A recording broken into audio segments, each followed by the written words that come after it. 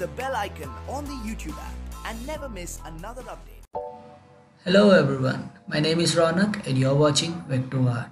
So today we are going to learn how to create a WinForms application using the NuGet package Guna. So without any further ado, let's get started. So let's start by creating a new project.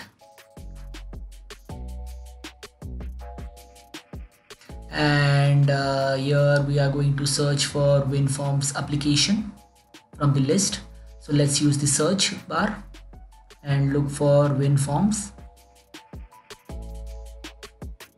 Select the first link and click on next. Let's uh, now fill out the project properties like the project name and the location which you want to place the file and click on create. Now let's select the form and go to its properties and change a couple of properties. So select the form go to properties and let's select the uh, change the startup position to center screen. And next we will change the form border or the um, border style to none. So we don't have a border now now let's uh, change the size of the window. Okay. Now let's uh, go to the solution explorer and right click on the project and click on manage NuGet properties. Now let's browse uh, the term Guna G-U-N-A and select the NuGet package and click on install. This uh, package will uh, um, install a set of tools in the toolbar which will help you design the UI. It, it has a whole lot of uh, design elements like the text box and all the other controls that are found in uh, Windows Forms application. And they have these uh, beautiful animations and customizations available on them. So now this is installed. So let's go to the form and open the toolbox and you will see another tab here on the top. Okay let's expand it and let's add the first control that is the Guna eclipse.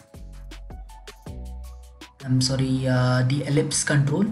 And let's select the ellipse control and then uh, go to properties and the set the target target control as form 1 so you can see that uh, we have the rounded edges to the form now.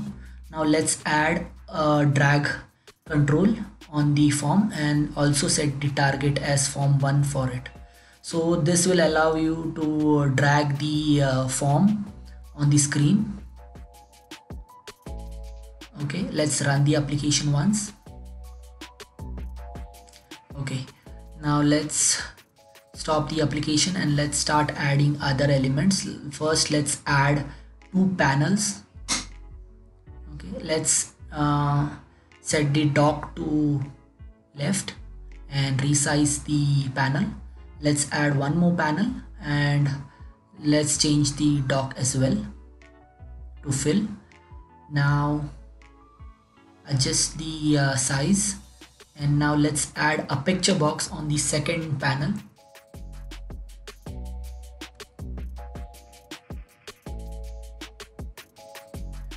let's select a picture box and drag and drop on the second panel. Let's resize it and let's go and select the image for that. You can do it to uh, both ways. You can go to the properties panel and select the image source or you have another option on top of the control itself. You can click on it and change the important properties here. So here I'm setting the size mode to zoom. Uh, we I observe that our window color is different from the image. So let's uh, change the form color to white.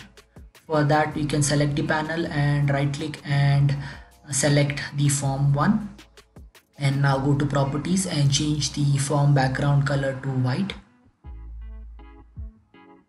Okay so the the uh, next uh, let's add a label. So you can search for a label control and you can take the HTML uh, label and uh, drag and drop it on the uh, screen. Now next let's change the text property uh, to get started. And also change the form color. Here I'm using the tool from Icons8 uh, which will help us uh, to uh, select the color or pick a color. Also this uh, tool will help us in selecting or downloading the required icons. But in this video I'm not displaying any icons so we'll just make use of the color picker. So let's uh, select the uh, label and change the color and also the size. Next uh, we'll make a copy of that. So right click copy and paste. Now let's uh, change the size to 8 and change the fore color to dark gray. Also change the text to name. Next next let's uh, draw a text box on top of the uh, panel 1 so let's click on the properties. Uh, that is uh, right next to the uh, control. And change the placeholder text to name. Let's set a border radius and thickness. And also let's uh, change the fore color to a dark gray. And change the fill color to light gray. And also let's uh, change the placeholder uh, fore color to a darker gray.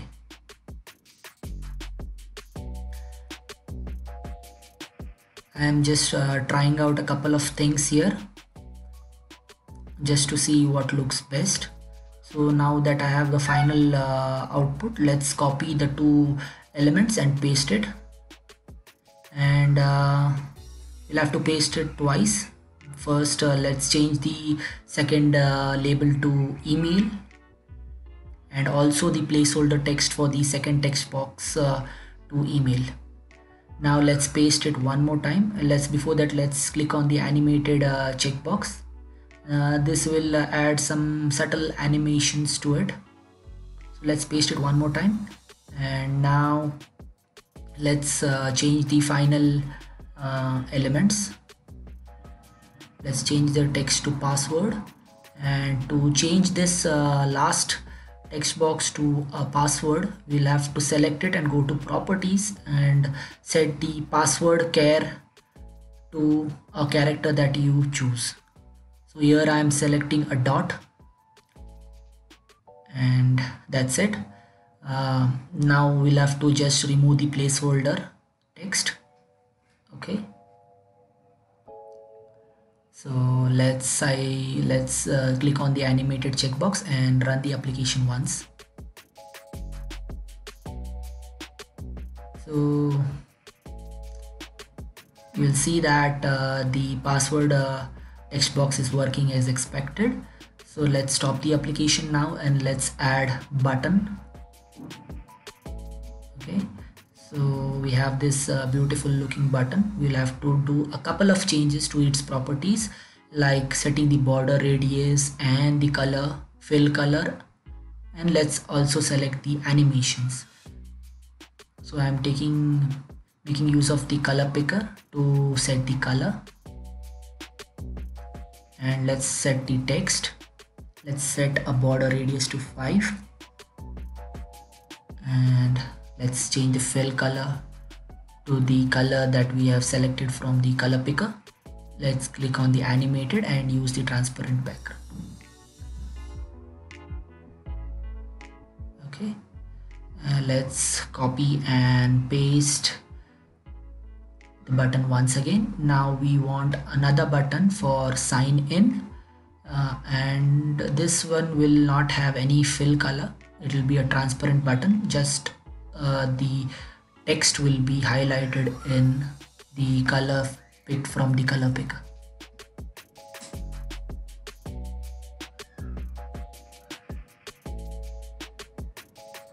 So we have selected the fill color as transparent and the fore color to the color selected from the color picker also we'll have to go to the font and uh, set the font style to bold. Okay so let's uh, resize it and place it next to the sign up button. So let's run it.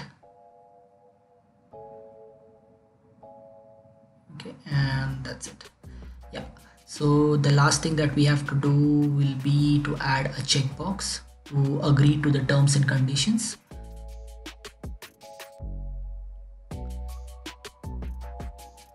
Let's stop the application and select a checkbox from the Guna controls and paste it on the panel 1 so let's set a text before that let's change the font to the font that we are using throughout the form and change the font size and also set a text.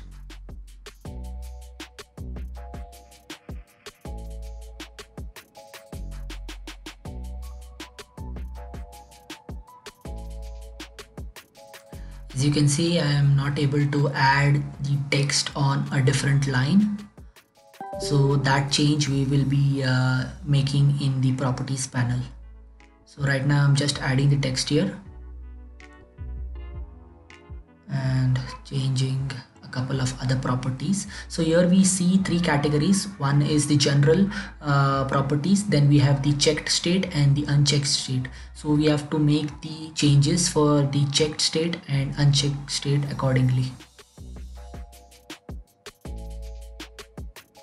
here I've set a border radius of 5 uh, but I believe uh, it should be reduced to 2 uh, because uh, it is a small uh, square and a border of 5 will result in a circle. Okay so let's make it 2 much better. Let's do the same changes to the check state as well. Only in the check state uh, we'll have a different color. So we are setting the same color that we selected from the color picker. And the check mark color will be black. Okay. So let's resize the control. And uh, before that see uh, here you can see that we cannot uh, um, bring the line to a um, break. So let's select the uh, text and remove it and then go to the properties panel and change the text property in the properties panel. So let's go to the properties panel and go to the text property and paste it here and add a line break. So that's done. Let's change the text alignment. Okay. And let's run the application once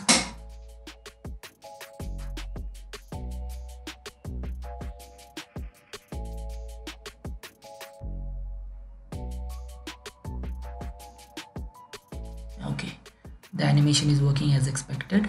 Now let's stop the application and we have one more thing to add. That is the close button. So let's uh, search for a control box and paste it on the second panel.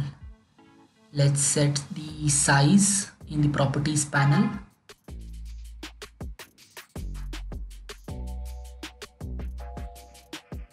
select the control box and go to properties and change the size.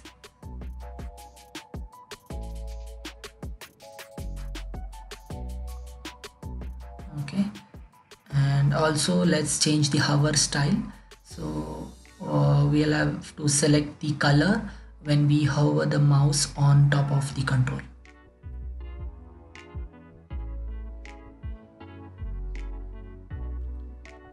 have to select the control and go to the properties panel. And under the hover state we'll have to change the color to the same color that we picked in the fill color. And that's it guys. I think uh, our ui is ready and you can see that the animation is working fine and also the action so hope you all liked watching this video. If you do like share and subscribe to my channel. Also you can download this uh, uh, application from the uh, github repository. The source code is uploaded there. You can uh, go to the description video description and click on the link. Thank you.